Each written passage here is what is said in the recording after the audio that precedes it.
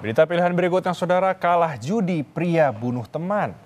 Gagal mencari uang untuk bermain judi online pria di Jambi tega membunuh temannya sendiri. Korban ditemukan dalam kondisi terbungkus karung.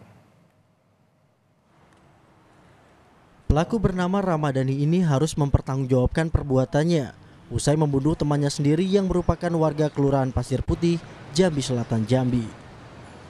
Kejadian ini berawal saat pelaku meminta korban mencari uang dengan menggadaikan motor untuk bermain judi online. Saat uang habis, pelaku kembali meminta korban untuk mencari uang. Namun kali ini gagal, sehingga pelaku marah lalu membunuh korban menggunakan senjata tajam. Usai membunuh, pelaku sempat menyimpan korban di rumahnya. Namun akhirnya pelaku membungkus korban menggunakan karung dan membuangnya di pinggir jalan di Desa Sungai Gelam, Muara Jambi pada 4 Agustus lalu.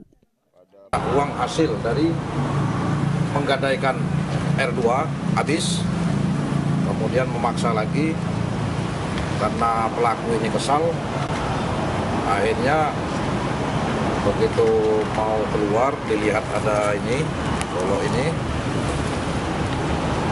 langsung terlintas untuk menghabisi korban. Polisi mengamankan sejumlah barang bukti seperti senjata tajam, lemari tempat menyembunyikan korban, serta mobil yang digunakan pelaku membuang korban. Atas perbuatannya, pelaku dijerat Undang-Undang Pembunuhan Berencana dengan ancaman maksimal hukuman mati atau seumur hidup.